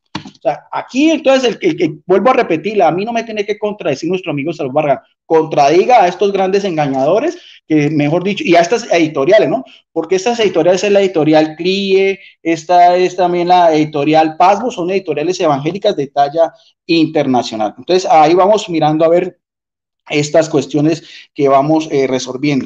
Ahora, eh, cuando nuestro amigo Salvador Barragán mm, hablaba también, eh, ah, otra vez, como cita Pablo de otra vez, Pablo de Eiros, aquí está, yo en físico, en físico, dice también así, página 225, dice, no, perdón, eh, esta no, eh, en la página 61, aquí está Pablo de Eiros, página 61, erudito bautista de la misma rama de nuestro amigo Salvador Barragán, dice, el ministerio de los apóstoles y o pastores. Dice, además de los apóstoles, hubo muchos otros que llevaron adelante esta misión. Entre ellos, ¿quiénes? Los obispos o pastores que son considerados por Eusebio Cesarea, otro gran mentiroso para nuestro amigo Salvo Barragán, como qué? Como los sucesores de los apóstoles. ¿A quién le creo, señor Salvador Barragán? Al mismo erudito que usted cita, página 61 en físico, en físico. Sigue diciendo, en la historia del cristianismo muchos de ellos son conocidos también como qué? Como los padres apostólicos, como Ignacio de Antioquía que mencionaba él, como Policarpo Esmirna que mencionaba él, como el mismo Clemente de Roma, que conocieron en vía a los apóstoles. Ellos fueron los autores de los primeros escritos cristianos después de los apóstoles. Se llamó padres porque ese término se aplica al maestro y a que el uso de la Biblia y el cristianismo primitivo, los maestros son considerados como los padres espirituales de sus alumnos en 1 Corintios 4:15. El calificativo de apostólicos deriva del hecho que fueron discípulos directos o indirectos de algunos de los doces, entre ellos que padres apostólicos más importantes, y vuelvo a mencionar a Clemente Romano. Entonces, ¿a quién, quiénes son los que se están diciendo que sí hay sucesión apostólica? Pablo Deiros, ¿quién más está diciendo que sí hay sucesión apostólica? Nuestro amigo Justo L. González. Ahora, que eso es lo que yo quiero que nuestro amigo Salvador Barragán también refute, porque ellos sí dicen que hay sucesión apostólica. Estamos hablando de personas que son eruditos, que sí son pastores, que son teólogos y que son escritores y que son conferencistas de talla internacional.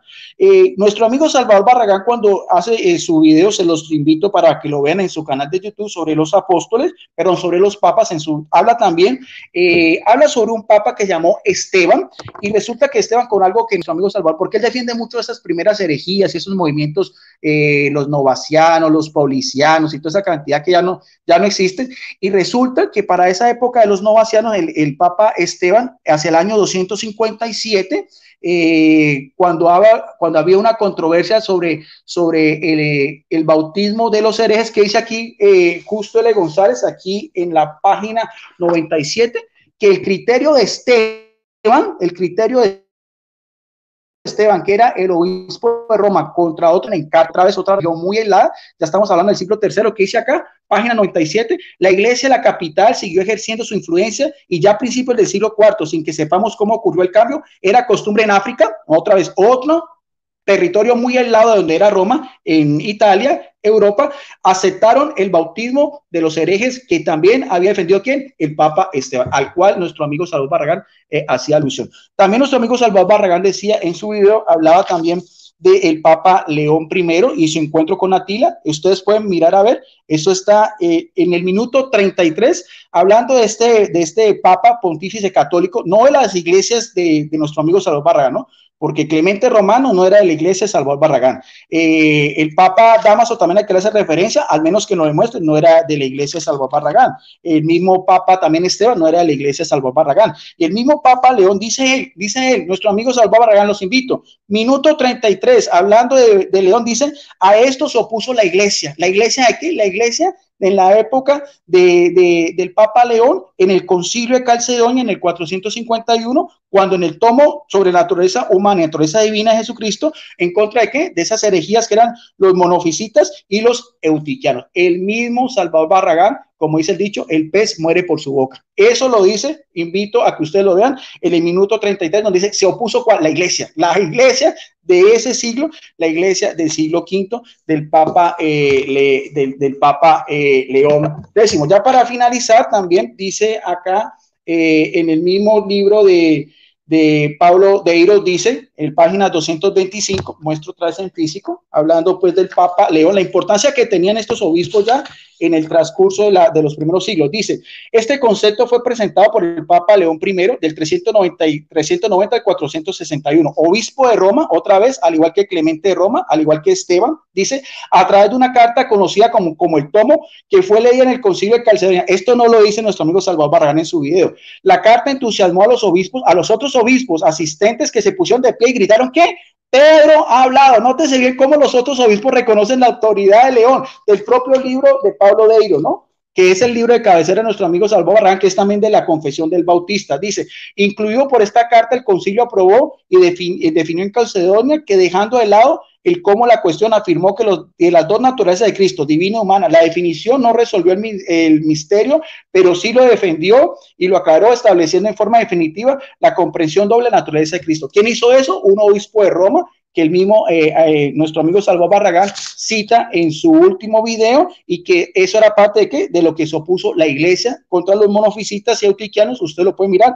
en el minuto 33. Entonces, yo sí puedo mostrar con pruebas físicas la autoridad de los obispos de Roma, Clemente Romano cuando aún vivía Juan, eh, el mismo Papa Esteban contra los novacianos también en el siglo, como decíamos, en el siglo tercero y el Papa León también en el siglo quinto, de sus propios eruditos de cabecera nuestro amigo Salvador Barragán, Justo L. González y también Pablo Beiros. Bueno, ahora sí quiero escuchar también en, la reputación nuestro amigo Salvador Barragán, también eh, vamos a ver de qué manera se va a defender y si puede negar esto porque él mismo lo trae a colación en su último video donde cita a Justo L. González y donde cita a Pablo Beiros. Gracias, eh, nuestro amigo Joel Moody. Te doy paso, entonces con esto termino mi intervención. Gracias. Ok, bueno, eh, te faltaba prácticamente un poco más de un minuto, pero bueno, está bien, no hay problema. Vamos a parar ahí. Vamos a reiniciar y bueno, Ok, muchas gracias, estimado Guido Rojas, por tu tiempo también de, de refutación. Bueno, a continuación voy a cederle también a la palabra al apologista evangélico Salvador Barragán para que también pueda refutar los argumentos de su oponente en 15 minutos exactos. Adelante, Salvador, por favor. Enciende tu micrófono. Gracias, hermano. Ok. Bueno, mire, vamos a mostrarle a nuestro, a nuestro querido Guido Rojas. Aquí lo puede leer en su página 86, donde lo voy a refutar con la misma, con lo mismo que él está diciendo. Dice en la página 84, respuesta a la, a la Asociación Apostólica, dice. En el caso de los gnósticos se trataba de una respuesta en el cual tenían que darle a los marcionistas, dice, puede reclamar esa sucesión apostólica, niegan unánimemente que haya habido tales enseñanzas secretas, por tanto lo que pretenden los herejes al decir que poseen una tradición secreta es superior a la de la iglesia, es falso. A fin de darle fuerza a este argumento era necesario mostrar que los actuales obispos de las iglesias eran sucesores de los apóstoles. Esto no era del todo difícil por cuanto en varias de las más antiguas iglesias existían listas de obispos que serían para unir en el presente con el pasado apostólico.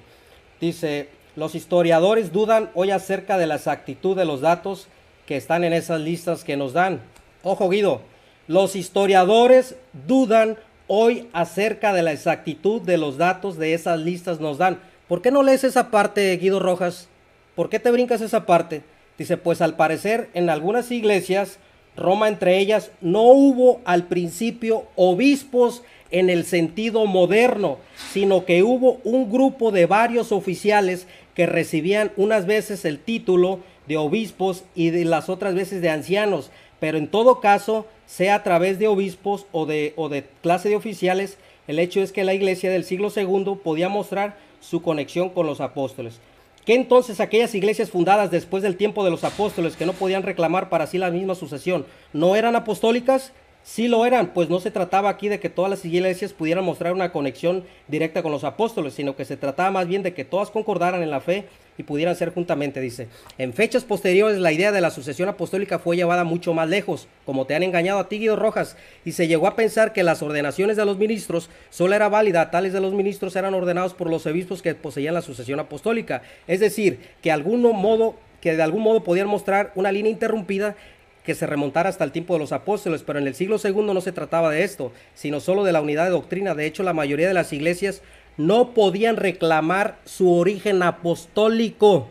Usted no me refutó nada, Guido, pues había aparecido en lugares a donde el cristianismo había llegado por medios desconocidos. A la larga, algunas de las iglesias en las ciudades más importantes como Alejandría y Constantinopla inventaron sus propias leyendas acerca de sus orígenes apostólicos a la larga de algunas de las iglesias en las ciudades más importantes, como Alejandría y Constantinopla, inventaron sus propias leyendas acerca de sus orígenes apostólicos. Pero, pero por lo pronto lo importante era sencillamente que todas las iglesias concordasen. Entonces, aquí está justo L. González, mi querido Guido Rojas, que te da un tremendo pacatazo. Ahora vamos a seguir refutando a Guido Rojas que realmente no se puso a refutar nada de lo que le dije porque no tocó ningún solo argumento. Habla nuestro querido Guido Rojas de la de la de lo que es dice que la doctrina de la dice que nos muestre Salvador Barragán sus obispos. Bueno, Guido Rojas, es fácil refutarte esa parte. Yo nunca he dicho al mundo que mi iglesia viene por medio de una sucesión de obispos. Nosotros decimos que venimos de Cristo porque podemos demostrar una conexión doctrinal con Cristo. El día que usted me refute doctrinalmente, usted me puede decir que yo no vengo de la iglesia de Cristo. Pero a mí la sucesión apostólica, créame con todo respeto que me importa un cacahuate. Tener un obispo universal o monárquico me importa un cacahuate. Porque como, dijo Pablo, el obispo de vuestras almas es Jesucristo. El obispo universal de la iglesia es Jesucristo. Él es el administrador de nuestras almas, no el papa. Otra de las cosas que dice nuestro querido amigo Rojas, habla de León. Dice que, pero ¿por qué no pasa atrás del libro de Justo L. González o de Pablo Deiros? Donde dice que en el concilio anterior, en contra de los eutiquianos, no dejaron entrar al Papa León. Ni siquiera llegó su carta con los eutiquianos y fueron perseguidos los que venían atrás de León el Grande. ¿Por qué no dice eso? ¿Por qué no dice que el Papa León no pudo ejercer su pontificado en el concilio anterior contra los monofisistas en contra de los autiquianos? Tuvo que esperar el Papa León a que muriera el emperador en turno para que viniera él al concilio y su carta fuera leída y refutara a los monofisistas. Pero no se brinque la historia, sea sincero y sea honesto. No nada más cuente las, partecitas o los fragmentos que le, que, le, que le convengan. Entonces, lo que dice nuestro amigo Guido Rojas, dice que es fácil refutar que por qué Pablo no mencionó a Pedro a los romanos. Y nos sale nuestro querido amigo Guido Rojas con la falacia o con el espantapájaros que nos hace, que porque Pedro eh, la carta a los romanos fue escrita aproximadamente en el año 58, 56 después de Cristo. Dice que Pedro fue martirizado del 64 al 66. Guido Rojas, ¿y dónde quedan los más de 20 años de pontificado de Pedro? Que para el, tiempo que se escribe la carta a los romanos, Pedro ya no estaba ejerciendo un pontificado en Roma. Sea congruente Guido Rojas y ponga bien analíticamente las fechas. Entonces usted queda refutado, Guido Rojas, porque según la tradición católica, desde el año 42 hasta el año 67, Pedro ejerció un pontificado en Roma de 25 años. Por lo tanto, usted no me puede decir que Pablo cuando escribe a los romanos no estaba porque fue, fue puesto en Roma Pedro al 64 o al 66, como usted lo dijo. Por lo tanto, entonces Pedro nada más duró dos años de pontífice en Roma cuando fue martirizado. Por favor, Guido Rojas, según la tradición católica, Pedro duró 25 años. No lo menciona porque no existía porque no existía un obispo monárquico. Usted me quiere a mí acuñar de decir que yo, que el doctor Justo L. González es mentiroso. No, el que está causando de mentiroso es usted y de poca credibilidad porque no menciona las páginas completas. Cuando habla, habla eh, el doctor Justo L. González que las listas fueron inventadas como Alejandría y como Constantinopla, porque no hay fuentes históricas que Andrés haya fundado la iglesia de Constantinopla. No hay pruebas históricas que la iglesia de Alejandría haya sido fundada por Marcos, que según la iglesia de Alejandría fue tomado en cuenta como apóstol y no fue apóstol, fue discípulo del apóstol Pedro. Todas esas incongruencias usted tiene que lidiar en el próximo debate y me tiene que refutar, porque todo eso es fácil de refutarlo. Yo no sé de dónde usted piensa que me va a refutar con esa parte. Ahora, cuando usted menciona dice que para el siglo IV, en los tiempos de León, nos habla de la capital del imperio. Pues ahí me acaba de usted dar la razón, Guido Rojas. Yo le he dicho que el papado de Roma, sí, el papado de Roma se, se catapulta cuando con el imperio. Usted tiene que reconocer que cuando los maometanos invaden eh, Constantinopla y el, el obispo de Constantinopla queda a la derive, queda descubierto, Roma, el obispo de Roma, aprovechando la autoridad y el poder que los godos o los visigodos habían dado al pontífice de Roma, empieza a ejercer un pontificado universal. ¿Por qué no platica eso en, el debate? el, obispo de Roma, cuando Constantino reparte las jurisdicciones, tiene que entender y comprender que los cinco patriarcados tenían una autoridad, eh, una autoridad compartida entre los cinco patriarcados. Constantinopla y no lidió con un solo argumento de lo que yo le dije se fue por la tangente, sacó que cosas que yo había dicho. Aquí estamos hablando de la sucesión apostólica y usted tenía, tenía el reto de demostrarme, sí, que verdaderamente existía un documento que Pedro había dejado a Lino y todos los documentos que le di. Otra de las cosas que dice nuestro querido amigo Guido Rojas y nos habla de Pablo Deiros y nos dice que, él sí muestra libros en físico y que no sé qué, que esto. Yo también tengo a Pablo Deiros, Guido, pero yo no, no, no crees que no lo hago o no lo muestro por, por ciertas razones, no. Pero usted no me alcanzaría el tiempo, pero le voy a decir que lo que está diciendo Pablo Deiros y lo que está diciendo Justo L. González nunca le están dando la razón al catolicismo romano. De hecho, Justo L. González habla de la Iglesia Católica antigua, donde dice que no se puede comparar con la Iglesia Católica romana hoy en día. ¿sí? Por lo tanto, no puede ser, eh, si usted lea a Justo L. González, cuando habla de la sucesión apostólica, cuando habla del origen del papado, cuando habla de León Magno, de Gregorio Magno, cuando los visigodos eh, ceden el poder político, el poder civil y el poder eclesiástico al obispo de Roma, ¿sí? ¿Por qué? Porque fue derrotado el imperio romano, fue derrotado. Entonces, como los visigodos, usted debe saber que eran arrianos, eran arrianos, simpatizaron con los nicenos y ejercieron el poder a Gregorio Magno o a Gregorio el Grande. Usted tiene que reconocer todo ese tipo de cosas que en los primeros cuatro siglos Sí, el obispo de Roma no tenía jurisdicción sobre toda la iglesia universal. Ese fue un desarrollo progresivo, progresivo. Usted me tiene que demostrar, Guido Rojas, y lo refuté donde le dije que Pablo no menciona a Pedro. ¿Por qué? Porque no existía. Usted me tiene que demostrar cómo, y no lo hizo porque no puede, porque no tiene pruebas. Puede sacar a Alfonso Ropero. Yo le puedo, yo, bueno, no quiero hablar cosas más, pero Usted tiene que demostrar también acerca de por qué el gran San Ignacio, el gran Policarpo, el gran Clemente. Clemente, ¿dónde menciona al pontífice de Roma? Clemente habla de ancianos, de presbíteros, y usted ahí me acaba de dar la razón. ¿Por qué? Porque menciona, se hace pensar, como lo dicen los, los eruditos católicos, que habla de un colegio de ancianos y de presbíteros que eran los que gobernaban las iglesias. Yo le refuté a Irineo de León.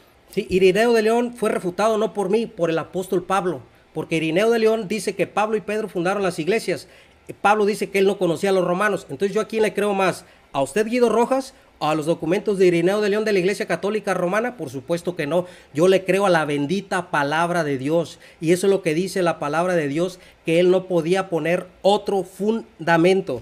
Otra de las cosas que dice nuestro, que alcancé a escuchar de nuestro querido amigo Guido Rojas, es que dice que yo contradigo y habla del Papa Esteban, pero yo le digo a nuestro amigo Guido Rojas, ¿por qué no menciona a Calisto? Calisto está dentro de las listas de la Iglesia Católica Romana. Calisto es una persona que aprobó el aborto. Calisto fue reprendido por Tertuliano por hereje y por blasfemo. Calisto, sí, también se cree que fue el primero en reclamar las llaves eclesiásticas del apóstol Pedro. Eclesiásticamente, ¿por qué no menciona esa parte? ¿Por qué no menciona usted cuando Policarpo de Esmirna viene desde Esmirna a Roma a corregir al obispo de Roma?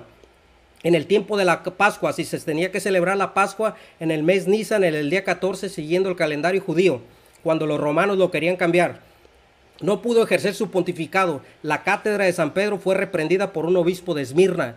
Eso contradice los dogmas de fe que ustedes dicen. Usted tiene que reconocer, Guido Rojas, que la cátedra de San Pedro, cuando se la atribuyen a Lino, fue hasta el año 264 después de Cristo. Usted no pudo lidiar con el catálogo liberiano, donde es incongruente con las constituciones apostólicas, que son documentos históricos, que son documentos siguiendo la tradición que ustedes tanto mencionan. El problema de ustedes es que ustedes agarran personas indoctas, les mencionan a San Ignacio, les mencionan a Irineo, les mencionan a este fulano, a este sultano, ¿sí? Pero con esas fuentes que ustedes dan piensan que pueden engañar a la gente para que decir, ah, sí vienen de Pedro, pero tienen que reconocer que es una tradición maquiavélica, es una, es una tradición inventada por ustedes, es una tradición que contradice la palabra de Dios. ¿Por qué? Porque catapultan al obispo de Roma diciendo que el obispo de Roma es el sumo pontífice, es el vicario de Cristo, es el santo padre, es el sucesor de no sé qué, que es el representante de Dios. Todos esos atributos y todos esos nombres le pertenecen a Cristo Jesús. Y todos esos se lo dieron ustedes en el concilio de Trento. Ahí es cuando llaman al apóstol Pedro el obispo de obispos, cuando hacen una, una respuesta a la reforma. Otro que me causa mucha risa a mí es que Guido Rojas menciona la reforma protestante. Y dice que la reforma protestante está dando a entender, y yo le aseguro que todos los reformados que vayan a ver este video y sus argumentos, yo tengo la Biblia reformada protestante comentada por los padres de la iglesia Guido Rojas. Yo tengo los, los tomos comentadas de patriología de los padres de la iglesia que fue puesta por la Universidad de Navarra en España. ¿Sí? No sabía que me lo iba a mencionar, si no le pongo tres o cuatro pacatazos con eso que usted me acaba de decir. Pero la reforma protestante, en las confesiones reformadas, el Papa es un anticristo para ellos. El Papa es la bestia del Apocalipsis. La Iglesia Católica Romana Papista es la que apostató de la ortodoxia cristiana primitiva. La reforma, yo no soy calvinista, yo no soy reformado, no me encostale ahí, pero lo voy a responder por ellos. Ellos en sus confesiones dicen, creo en la Santa Iglesia Católica, Apostólica, pero no romana y no papista. Ellos son los que dicen, no nosotros. Por lo tanto, usted tiene que eh, eh, debatir ese tema con un reformado, con un presbiteriano, no con un bautista, como yo. Cuando usted me dice que yo le mencione las iglesias bíblicas de donde yo vengo, etcétera, etcétera, etcétera, nosotros no nos regimos por un nombre una denominación. Si yo le dijera a usted públicamente que mi iglesia viene de Cristo porque nuestros pastores traen una sucesión interrumpida, entonces usted sí tendría la cara, la moral, la moral y el valor y gritar al mundo, reto a Barragán para que me diga por medio de sus sucesores de pastores que vienen de Cristo. No, nosotros decimos que la iglesia de Cristo es aquella iglesia que muestra una conexión doctrinal con Jesús, que muestra los puntos cardinales con Jesucristo, que muestra las columnas vertebrales del Evangelio, cosa que sus papas, sus pontífices no lo pueden mostrar, por lo cuanto no son la iglesia de Jesucristo y no pueden ser los sucesores legítimos del apóstol Pedro. Nosotros decimos que la verdadera iglesia, como usted tocó eclesiología, pero el tema no era eclesiología, pero mi deber como apologista es refutarlo y refutarle todas sus mentiras, le digo que si quiere hablar de eclesiología sería otro debate, Pero nosotros decimos que la iglesia de Cristo es aquella que se conecta doctrinalmente con Jesús, no por medio de una sucesión. Nosotros creemos en una sustitución de obispos, sustitución de ancianos, pero usted tiene que reconocer que si me menciona Clemente, mencione, mm, Clemente menciona obispos, pero usted tiene que reconocer que los ancianos, los presbíteros son inferiores a los obispos y los diáconos también. Por lo tanto, el obispo de Roma no es un presbítero tal y como dijo Pablo, Pedro, yo presbítero como mis hermanos, yo anciano. Pedro se consideró un presbítero, un anciano, no una persona que tenía el obispado universal sobre toda la iglesia. Esa blasfemia y esa herejía del pontificado universal fue progresiva y fue posterior y es totalmente antibíblica y usted está refutado, Guido Rojas. Dios le bendiga. Ok, vamos a parar el tiempo. Ok, perfecto. Bueno, muchas gracias Salvador y muchas gracias a cada uno de los, de, bueno, a ambos panelistas por su tiempo de exposición. Y bueno, eh, damos ya por finalizado también este bloque de refutación. Todavía no el debate. Y bueno, claro que sí, el debate prácticamente ya ha terminado. Así que bueno, espero que hayas podido tú disfrutar los argumentos expuestos por ambos exponentes acerca de este tema muy interesante también y muy controversial y muy candente también acerca de lo que es la sucesión apostólica. Por favor, te pido por favor que compartas esta transmisión para que pueda llegar a los diferentes rincones de este mundo y las personas puedan ver los argumentos de ambos exponentes y puedan edificarse e informarse también con los argumentos que ofrecieron ambos panelistas. Así que bueno, sin más preámbulos, eh, damos ya por concluido este debate y pues quiero cederle la palabra también a ambos panelistas para que se puedan despedir en el tiempo de máximo de un minuto. Guido, por favor, despídete de la audiencia, por favor. Gracias. Gracias, gracias Joel por tu participación como moderador, por tu educación, por tu cultura eh, eh, Salvador Barragán te propuso yo no tuve ningún problema, todo lo contrario. Gracias, bendiciones también a Salvador Barragán, como siempre es un placer, a mí me fascina mucho debatir todos estos temas de historia con él, porque me parece que es uno de los pocos apologistas de la rama no eh, católica de la rama evangélica, pues que tiene también eh, esta visión y este conocimiento sobre este tema tan fascinante que es mirar en retrospectiva todo lo que ha sido ese cristianismo, el transcurso y también su iluminación del Espíritu Santo. Me despido de la ciudad de Palmira con un saludo fraterno en el nombre también de nuestro gran Dios y Salvador Jesucristo. Este video te lo comparto también que he tenido con eh, Barragán y otros temas también de eclesiología y cristología y demás. Gracias, bendiciones, al igual que todas las personas que en este momento están conectadas, católicos, evangélicos, también un saludo fraterno. Gracias. Gracias, Guido. Acompáñanos todavía, por favor, hasta cerrar la transmisión. Bueno, a continuación les cedo la palabra a Salvador Barragán para que también se pueda despedir. Adelante, Salvador. Bueno, muchísimas gracias, hermano Joel. Igualmente a toda la audiencia, este, les digo, esto no es nada personal con el licenciado Guido Rojas, yo a su persona lo respeto, lo aprecio, somos amigos. Esto simple y sencillamente es un debate de, de diferentes cosmovisiones cristianas yo él como persona lo respeto, lo aprecio, es bienvenido a este canal. La crítica siempre es histórica y la crítica siempre es doctrinal. Así que no pasa nada, somos amigos, le mando un fuerte abrazo hasta Colombia. Gracias a nuestro hermano Joel también, a mi hermano Carlos Manuel Veloz, la señora Rosa Araujo, que Dios la bendiga, Josefina Sinfuentes, mi hermano el pastor Luis Castro, mi hermano Alex, eh, a los hermanos que están por ahí, bueno, ahorita el hermano Joel que los salude. Muchísimas gracias y Dios los bendiga. Gracias, Salvador. Y bueno, quiero agradecerles también a ambos panelistas por darme la oportunidad de poder moderar este debate. Por favor, te pido a ti que te suscribas al canal del teólogo católico Guido Rojas. Tiene su plataforma de YouTube como teólogo católico Guido Rojas. Activa la campanita, suscríbete para que puedas recibir también las nuevas notificaciones. De igual forma, también suscríbete al canal del apologista evangélico Barragán Salvador por favor, activa la campanita para que también puedas recibir las notificaciones que se puedan estar dando en ambos canales.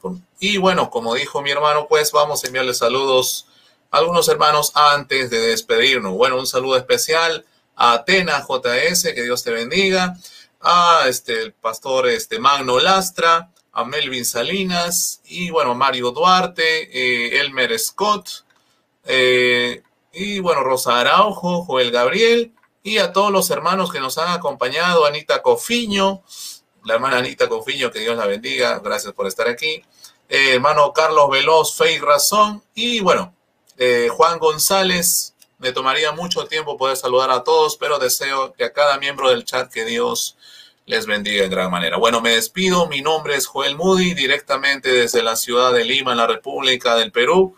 Y ha sido un gozo poder estar compartiendo la sala con ambos panelistas. Y creo que ha sido de gran altura los argumentos aquí expuestos. Bueno, sin más que decir, me despido deseando que Dios te bendiga. Bendiciones, Guido. Parece, hermano Joel, perdón, antes de irnos, este, parece que ahorita va a debatir Ángel Regalado con Jaime Supo Puma por este canal, no estoy seguro, entonces ahí para que avisen los hermanos por si se da el debate.